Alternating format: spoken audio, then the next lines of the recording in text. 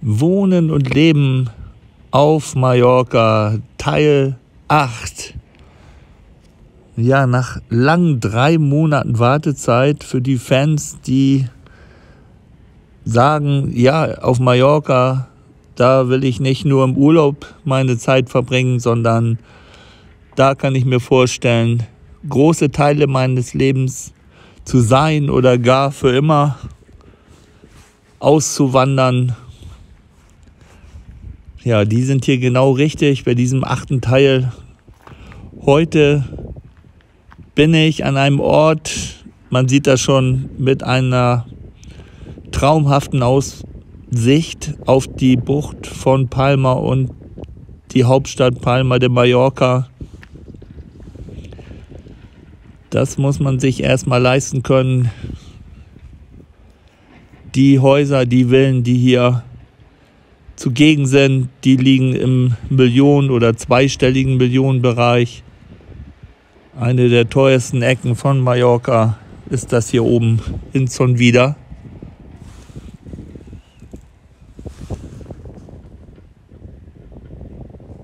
Vielleicht sagt sich der ein oder andere aber auch, ich fahre einfach mal hoch, genieße die Aussicht, schaue mir ein Häuschen an, ohne jetzt den Zwang zu haben, dort wohnen zu müssen. Also die Aussicht hier ist schon fantastisch. Ähm, an diesem schönen Tag, wir haben den 13. April 2023, sieht das Wetter nicht komplett so wie hier oben aus, blau und weiß, sondern auch grau und grau ein bisschen. Kein Problem, wir erreichen heute Temperaturen von über 20 Grad. Und diese Tour habe ich am Fuße dieses Berges begonnen, in Palma nämlich bei leicht tröpfelndem Wetter. Regen will ich mal nicht sagen, sondern es hat leicht getröpfelt aus den tief hängenden Wolken heraus. Und da starten wir jetzt.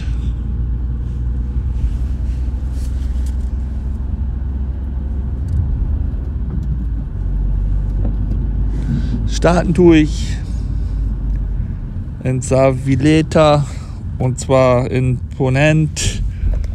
Von hier aus ist es ein Katzensprung dort oben hoch auf den Berg. Wie ich eben schon sagte, es tröpfelt ein wenig.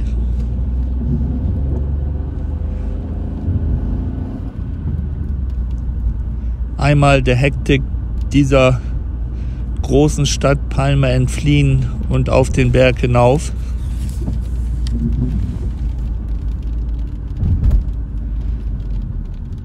Einer der größten Golfplätze von Mallorca befindet sich ebenfalls hier oben. Golfson wieder.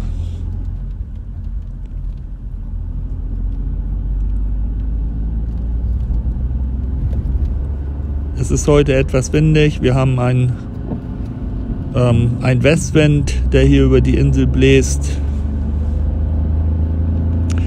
Bei der Fahrt merken wir noch nichts davon. Und ich würde mich freuen, wenn weiterhin viele dabei sind bei diesem Video und das auch bis zum Ende bleiben. Die Aussichten, die wir hier haben, die sind äh, ja die pure Belohnung. Ich werde versuchen, einiges zu sagen. Die Zinsen sind hochgegangen, natürlich auch auf Mallorca. In ganz Europa haben wir ungefähr den vierfachen Zins von vor etwas über einem Jahr. Das bedeutet natürlich auch, dass es schwieriger wird, eine Immobilie zu erwerben. Und äh, ob das hier oben zutrifft, dass dadurch die Immobilienpreise fallen, in wieder, das werden wir gleich mal sehen. Das ähm, wagen viele zu bezweifeln. Das wird wohl nicht der Fall sein. Aber im niedrigeren Preissegment, da kann man schon erkennen, dass es einfacher ist, eine Immobilie zu erwerben, dass man aber trotzdem wesentlich höhere Kosten hat als vorher, als vor der ganzen Krise, die das bewirkt hat, dass die Zinsen so steigen. Ist natürlich auch immer die Frage, was normal ist. 1% normal oder 4%. Es gab auch schon Zeiten, da waren die Zinsen wesentlich höher. Aber einhergehend mit der ganzen Inflation und und und, was es da so an Problemen gibt, Materialbeschaffung, die immens äh, schwierig und teuer geworden ist. Und das trifft hier natürlich auf Mallorca ganz genauso zu wie in anderen Teilen Europas.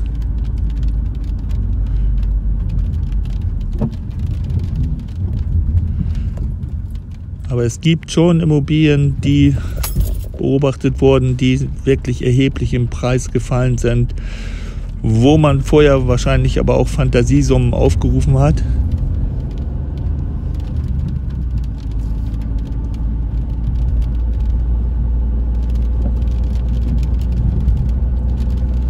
Immer noch tröpfelt es ein wenig.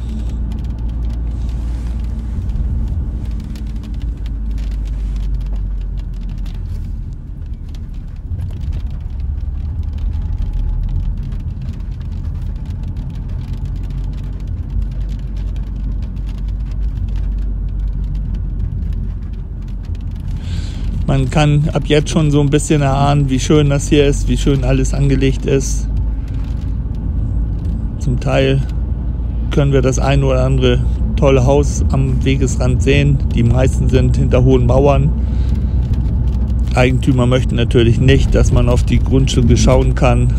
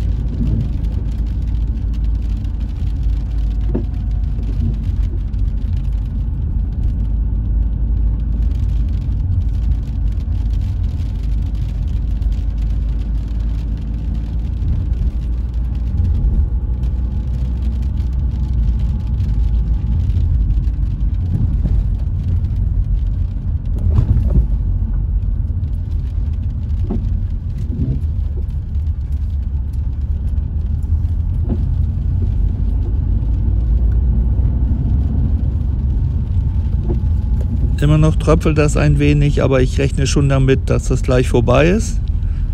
Ihr könnt schon überall im Horizont sehen, mehr blau, weniger grau.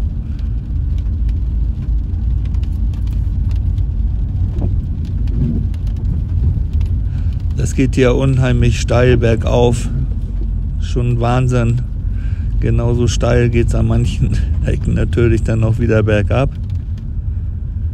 Und das ist schon faszinierend, wo man hier überall, von hier schon mal diese Wahnsinnsaussicht.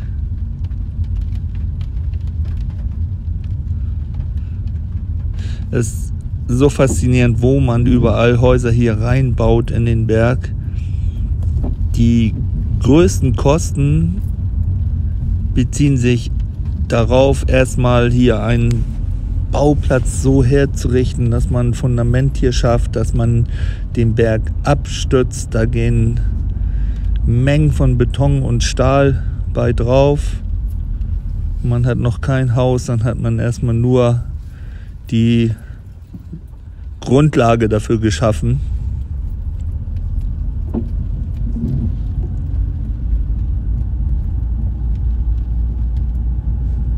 Zumal sich die Landschaft natürlich auch durch das Wetter, gerade Herbststürme, Regenfälle und so weiter verändert und dann so ein Gebäude standhalten muss. Aber man wundert sich schon und ich werde sicherlich den einen oder anderen Blick darauf werfen können, wie man hier baut. Denn Kräne sieht man hier ohne Ende. Überall wird geflext, gehämmert, gebohrt, Beton geschüttet, Stahl aufgebaut. Also die meisten Häuser sind ja bestehen aus einem Stahlgerüst hier, die modernen Häuser, was dann mit Beton ausgefüllt wird.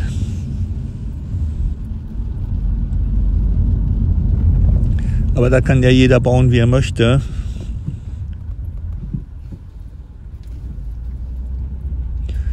Ganz, ganz viel sieht man hier natürlich aufgrund der schönen Aussicht. Große Fensterfronten. Gerade dann, wenn einem die Sicht nicht verbaut wird. Hier wieder ein Kran. Ich werde gleich natürlich aussteigen an den schönsten Stellen, wo man die besten, den besten Aussichten hat. Werd mal vorsichtig auf so eine Baustelle schauen. Hier wieder rechts und links Baustellen.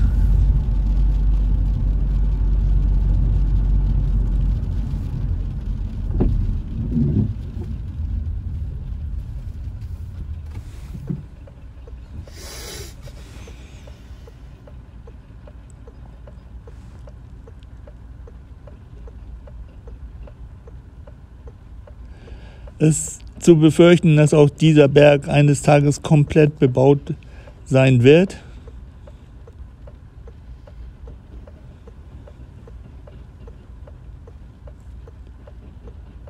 Was man aus der Entfernung gar nicht so sehen kann. Dennoch sind hier auch ganz viele Plätze schon bereits reserviert.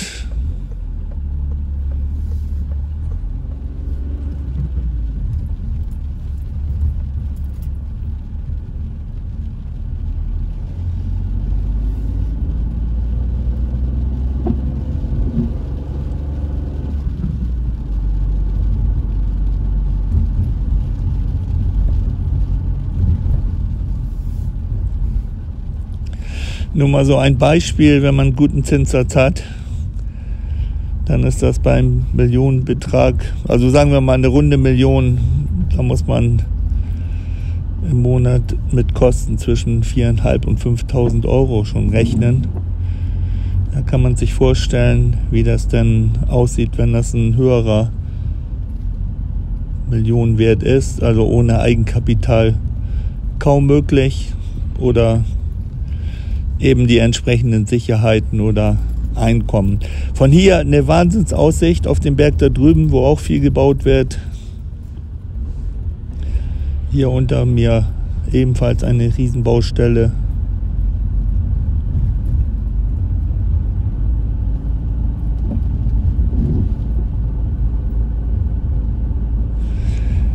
Morgens und abends in der Hour ein großer Baustellenverkehr hier. Viele Fahrzeuge fahren hier oben hoch oder wieder dann zum Feierabend hinunter. Überall Baufahrzeuge. Hier oben ein richtig schönes Häuschen.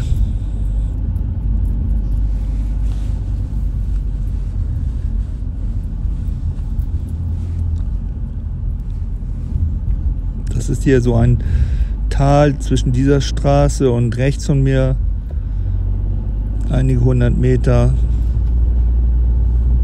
das von beiden Seiten bebaut wird.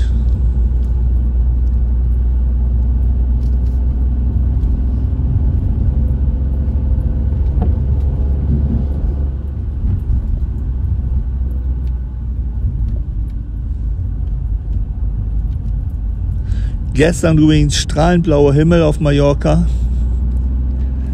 kaum ein weißes Wölkchen zu sehen. Aber heute, dass man nur so nebenbei erwähnt, wird der Tag sich aufklären und äh, wird viel, viel mehr Blau am Himmel zu sehen sein. Allerdings, wie gesagt, windig. Eine Top-Villa da oben geradeaus vor mir.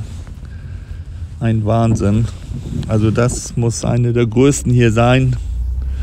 Traumhaft angelegt und äh, ja, mit Panoramafenstern ohne Ende auf die Bucht von Palma.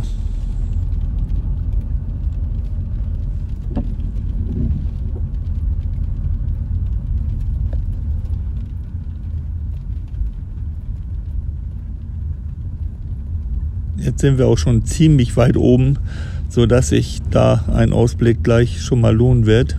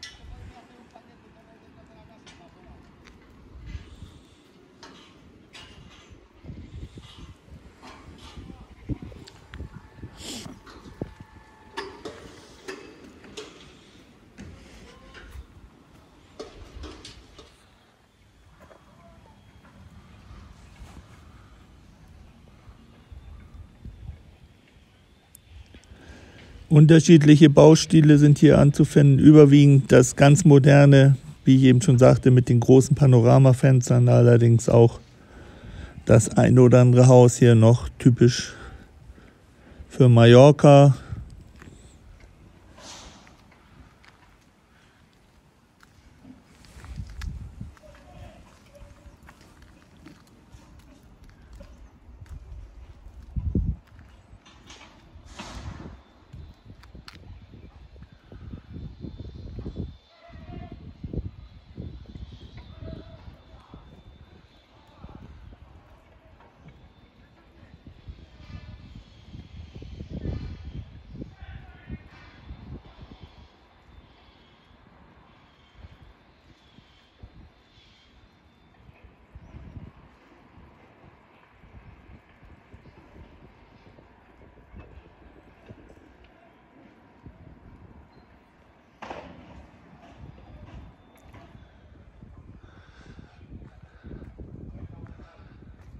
Selbst da ganz oben, Kran an Kran. Das ist wirklich kaum zu erwarten, dass hier so viele Baustellen noch gibt.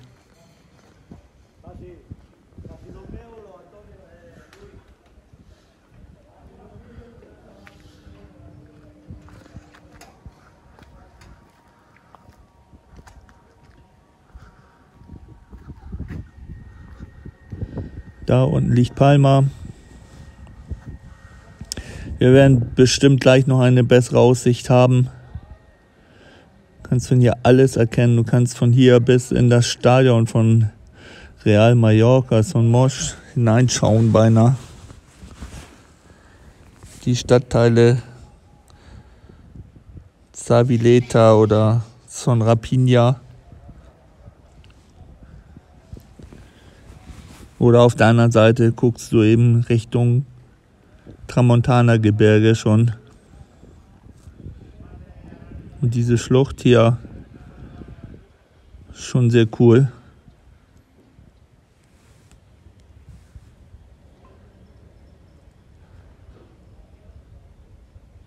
Da ganz hinten liegt die Playa de Palma. Jetzt habe ich einen kleinen Moment gewartet und äh, ja, es klart immer mehr auf, sodass die Sicht auch besser wird gleich.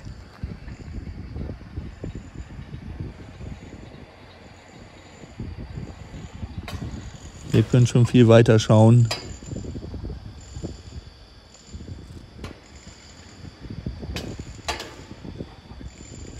Sogar das Schloss Belver konnte ich eben schon für einen Moment erkennen.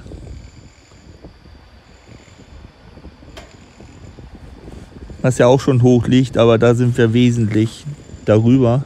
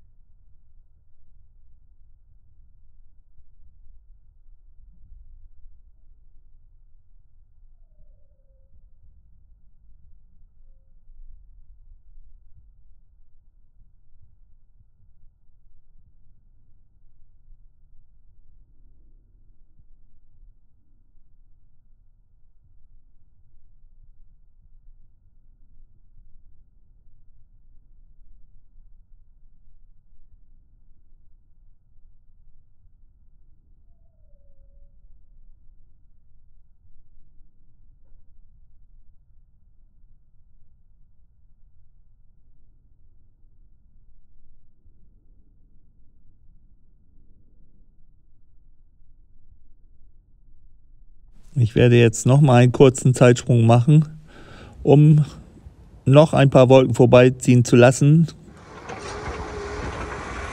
Und zack, sind wir noch mal eine Viertelstunde über, übersprungen sozusagen.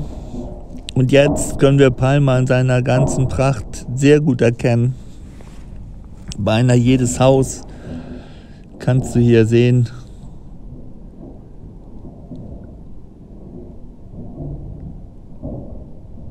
Blau und weiß bis an den Horizont.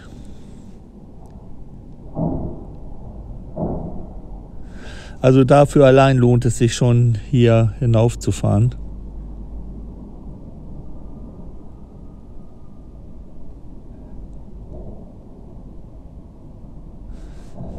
Und eben man erwartet gar nicht, dass es hier so viel Grün gibt, obwohl jede Lücke beinahe bebaut wird.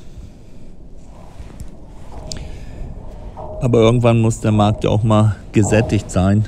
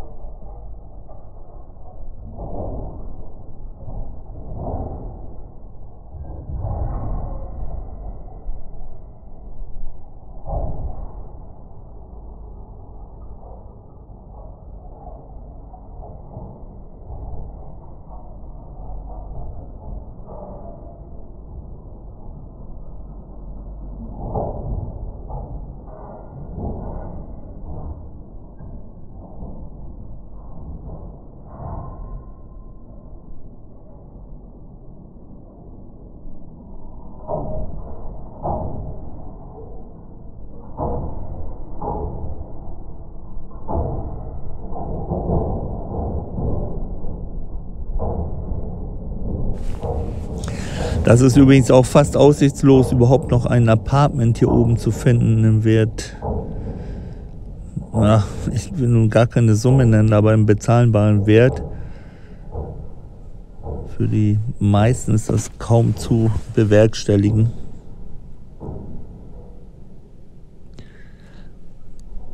Allerdings, wenn man hier die Grundstückspreise zugrunde legt, die natürlich sehr, sehr hoch schon sind und der Aufwand, mit dem hier gebaut werden muss. Wenn hier ein altes Haus aufgekauft wird, bleibt beinahe nichts davon stehen.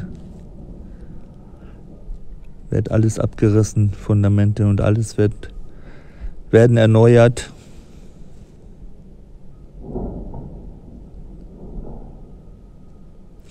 Die Handwerkspreise sind übrigens auch gestiegen so wie überall.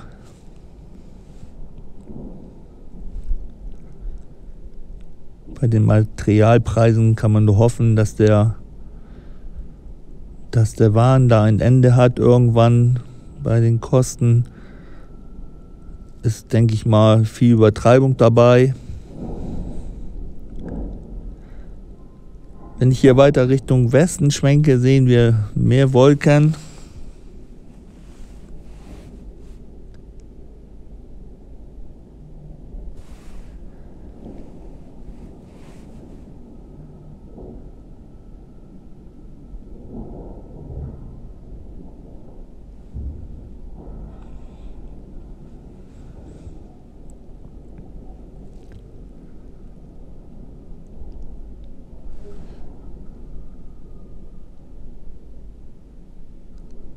Richtung Osten von Mallorca. Mehr Blau. Man konnte eben wunderbar sehen von hier oben, wie das Wolkenband sich hier rüber schob.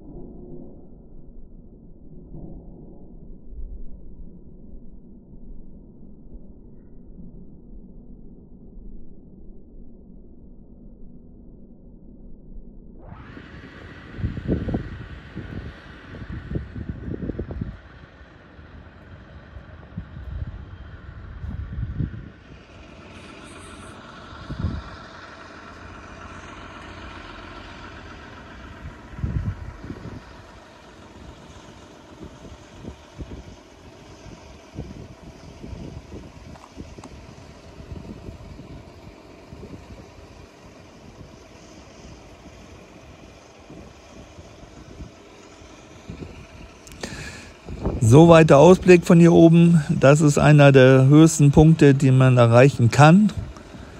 Ich werde mich jetzt wieder auf den Weg etwas tiefer machen. Dabei auch noch versuchen, ein paar schöne Bilder einzufangen. Ja, und da geht es schon abwärts.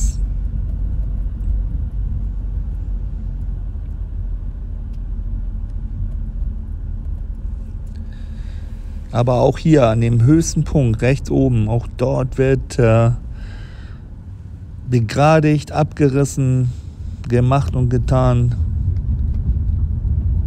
Selbst da wird gebaut. Also es bleibt kaum ein Fleck hier unberührt.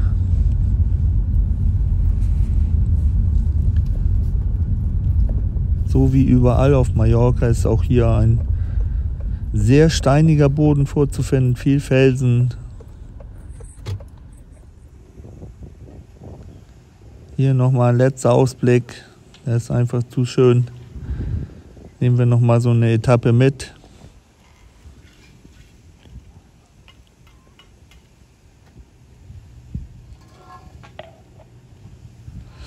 Ja, der Wunsch ist sicherlich bei ganz vielen Mallorca-Fans da, hier auf Mallorca eines Tages leben zu wollen. Es muss ja nicht unbedingt schon wieder sein, so wie hier. Es gibt auch so viele schöne Ecken, wie wir in den Videos sehen können auf Georgies Kanal. Da kann sich jeder so seinen Lieblingsort suchen. Egal ob der Südwesten oder der Nordosten oder Osten oder der Süden von Mallorca. Es gibt so viele schöne Orte. Oder lass es ein schönes Bergdorf sein.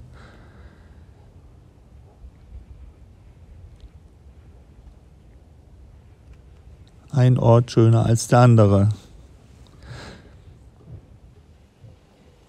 Und eines steht fest, es gibt auch äh, bezahlbare Immobilien hier. Man muss ja auch nicht kaufen, man kann ja auch mieten. Die Chance ist auch da. Dadurch, dass Mallorca verboten hat, ohne Lizenz äh, an Urlauber zu vermieten, ist die Chance gestiegen, dass man solche Objekte bekommt. Äh, also nicht gerade hier oben, schon wieder, aber dass man Objekte bekommt, die man für einen fairen Preis mieten kann das ganze Jahr. Die meisten tun natürlich was anderes. Sie lassen ihre Immobilien leer stehen, weil sie keine fremden Leute in ihren Wohnungen haben möchten oder weil sie auch kein Vertrauen dazu haben, der Aufwand zu groß, äh, die Kosten zu den Erträgen in keinem Verhältnis stehen.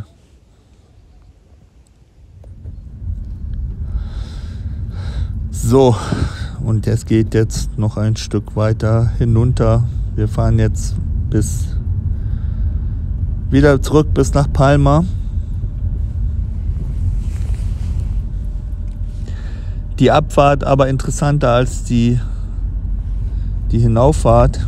A, weil das Wetter jetzt ein bisschen besser ist und B, weil wir die bessere Sicht haben.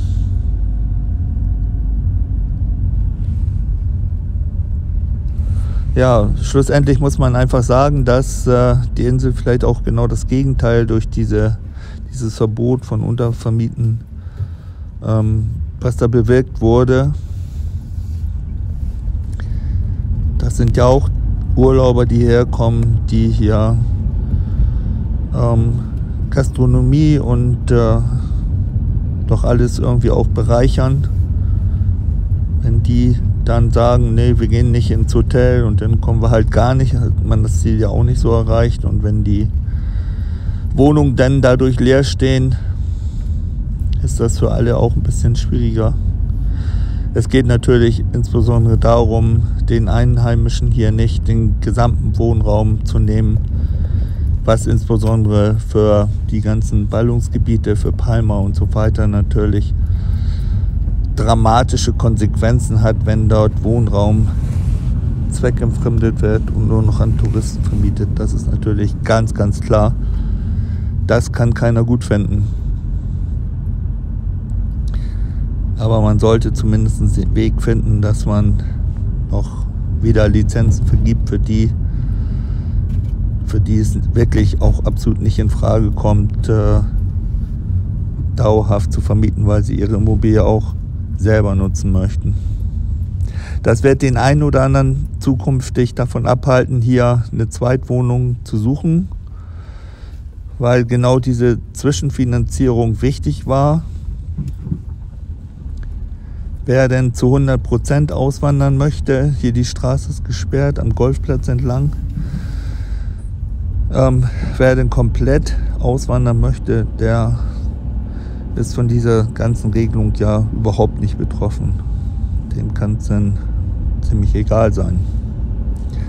Ja, und das Wetter, wie wir sehen, wird auch jetzt Richtung äh, Westen immer besser.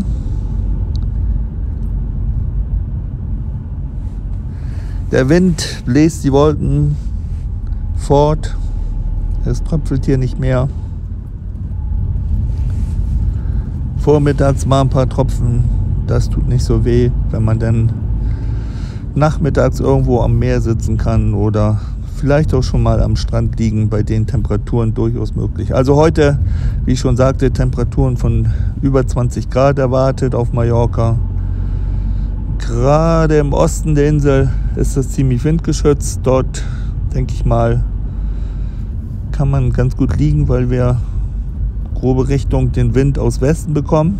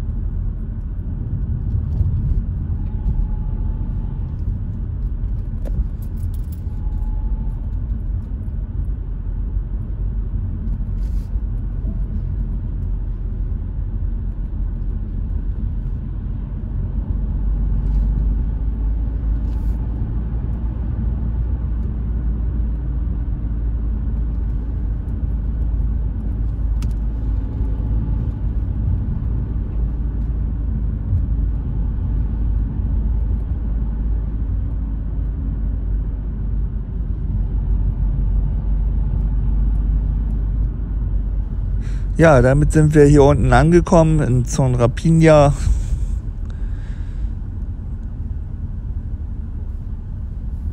Ich freue mich, dass so viele Zuschauer dabei sind und waren. Vielen, vielen Dank dafür. Ein großes Danke noch schön nochmal an die vielen Unterstützer von Georgies Kanal. Ohne euch geht das halt nicht. Ohne euch kann man keine Videos von Mallorca bringen. Nur die Nachfrage und die damit verbundene Belohnung, in welcher Form das auch immer gerade sein mag, zählen dabei. Dafür ein herzliches Dankeschön. Ich weiß das sehr zu schätzen. Verabschiede mich mit diesem Bild, fahre die Straße hier noch zu Ende und äh, sage Adios und bye bye. Bis zum nächsten Mal auf Georgies Kanal. Servus, euer Jörg.